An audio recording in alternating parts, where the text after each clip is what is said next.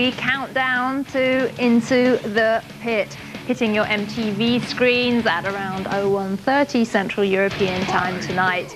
And at long last, we are now able to bring you the long-awaited new video from Morbid Angel.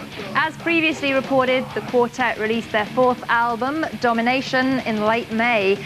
And David and Trey explained to me how the record once again showcases the band's willingness to experiment with new, deathly directions.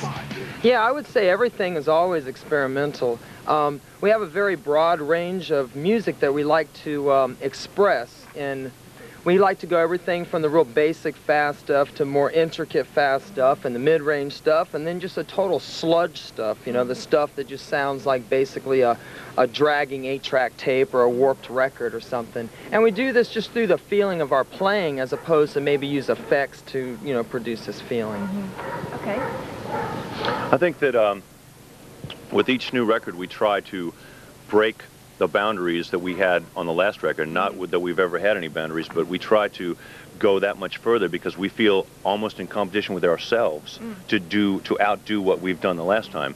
And uh, once again, I think we've done that. Yeah. Um, and and like I say, based on the reactions that we've got thus far, um, we're very encouraged. But I got to say that you know we start off by writing this stuff for us. I mean, this is something that we want to listen to. So it sure is encouraging and exciting when when people see where we're coming from and, mm -hmm. and they're able to you know to receive us with the same vigor that we're delivering this. Good. Morbid Angel have just announced an extensive European tour kicking off on the 10th of September in Glasgow and running through to the 25th of October where the dates conclude in Paris.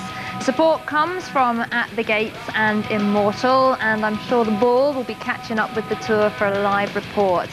In the meantime, we can enjoy the European premiere of Morbid Angel's brand new video. This is probably the best track on the album, Where the Slime Lives.